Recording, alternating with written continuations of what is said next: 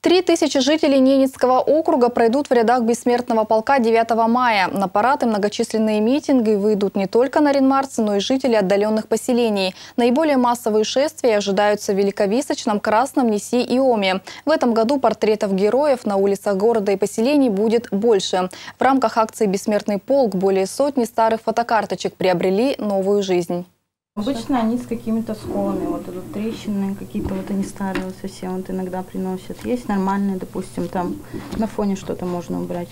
Преображение старых фотографий происходит здесь. Графический дизайнер сканирует изображение и начинает с ним работать. Благодаря цифровым технологиям можно освежить цвет, устранить дефекты и белые пятна. Особенно в этом нуждаются очень старые снимки 30-40-х годов. Далее наносится подпись, имя, фамилия и звание участника войны. Обновленное фото отправляется на печать.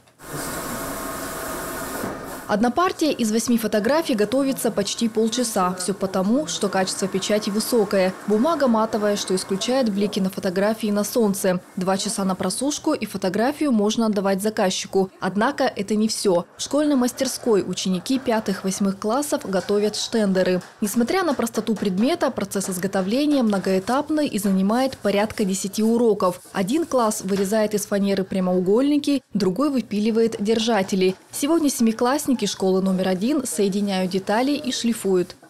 Примерно полтора сантиметра вставляем гвоздь, помечаем и забиваем.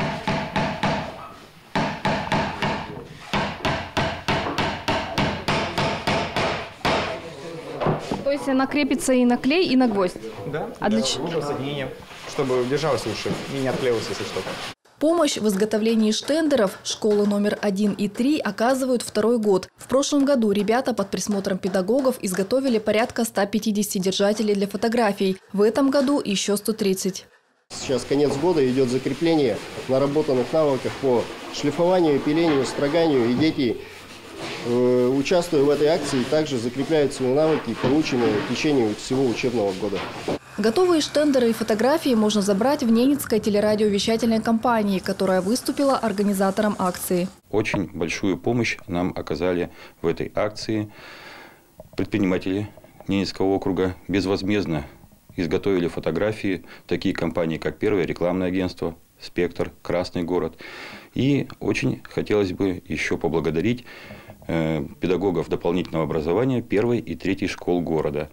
Результаты большой совместной работы будут представлены здесь. 9 мая Ненецкий округ в пятый раз примет участие во всероссийской акции «Бессмертный полк». Колонна участников проследует от третьей школы до площади Маратсей. Сотни фотографий героев-участников поднимутся над головами, возвещая о Великой Победе. Но после акции обновленные портреты займут достойное место в семейном архиве. Валентина Чибичек, Леонид Шишелов, телеканал «Север».